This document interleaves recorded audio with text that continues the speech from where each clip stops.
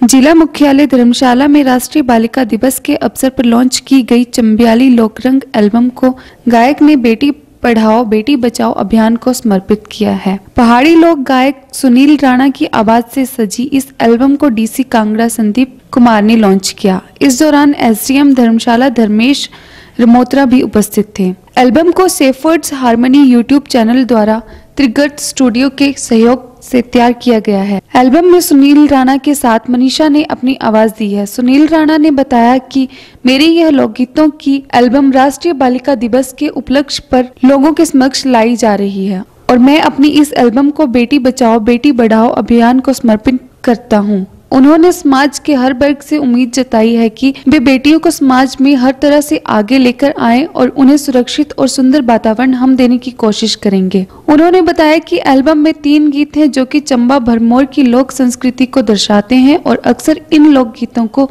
लोग बड़ी ही चाव और हर्षोल्लास से गाते और नाचते हैं।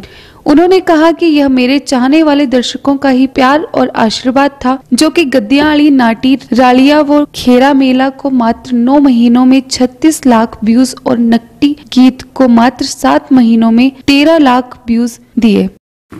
नमस्कार सभी दर्शकों को मेरा प्यार भरा प्रणाम। मेरी ये कोशिश रहती है कि मैं अपने जो विलुप्त होती संस्कृति है, लोक संस्कृति है, लोकगीत है, उनको जन जन तक पहुंचाऊं। और मैं पिछले 18-19 सालों से उसी प्रयास में लगा हुआ हूँ। और आप सबका प्यार और आशीर्वाद मुझे मिल रहा है। भगवान की कृपा से आप लोग बहुत पसंद भी कर रहे हैं। उसी कड़ी को मैंने आगे बढ़ाते हुए एक नई आप, आज अपनी एक नई लोक गीतों की एल्बम लॉन्च की है, जिसका नाम दिया है हमने चंबियाड़ी लोक रंग क्योंकि उसमें जो चंबा की जो लोक संस्कृति के विलुप्त होते हुए लोकगीत हैं, उनको मैंने लोगों तक पहुँचाने की कोशिश की है। और उसमें ये रहा है कि हमारी जो डायलेक्ट है चंबा की या भरमौर की जो बोली है, वो लोगों को समझ थोड़ी कम आती है और लोग मेरे चाहने वाले हैं, बहुत प्यार करते हैं, पसंद करते हैं तो उनकी हमेशा से ये शिकायत रहती थी कि आपके लोकगीत बहुत अच्छे होते हैं, हम बहुत एंजॉय करते हैं, सुनने में बहुत अच्छा लगता है। लेकिन हमें कहीं ना कहीं उनके शब्दों को समझने में थोड़ी सी दिक्कत आती है। तो मेरी ये कोशिश है कि मैंने अब गाने के साथ साथ उनके बोलों को भी लिख कर स्क्रीन पे दर्शाया है ताकि लोग गाने को सुनने के साथ साथ उनके शब्दों को पढ़कर जो है वो समझ सके। क्योंकि जब कोई चीज़ दिल से आनंद लेते हैं तो बहुत अच्छी बात है, लेकिन जब आप उसको और अच्छे तरीके से समझ जाते हो तो लोग उसको और आनंद महसूस करते हैं। और आज राष्ट्रीय बालिका दिवस है, गर्ल्स चाइल्ड डे है।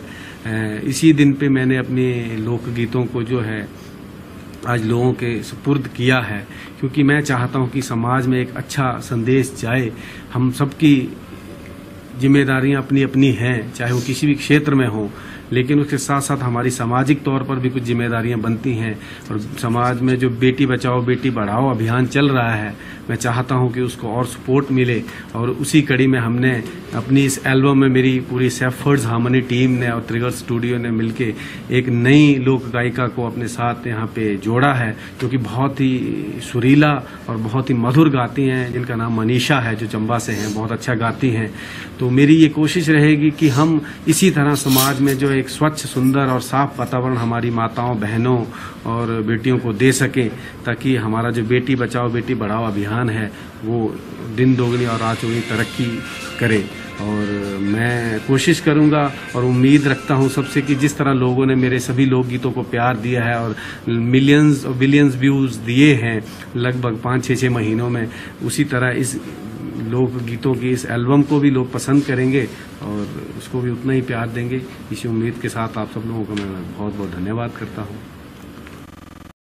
डीसी कांगड़ा ने सुनील राणा को नई एल्बम की लॉन्चिंग की बधाई दी। वहीं एसडीएम धर्मशाला धर्मेश रमोत्रा ने कहा कि हमारा प्रयास पहाड़ी कलाकारों को प्रोत्साहित करना है और पहाड़ी कलाकार बेहतर प्रस्तुतियों से सभी को आकर्षित कर रहे हैं।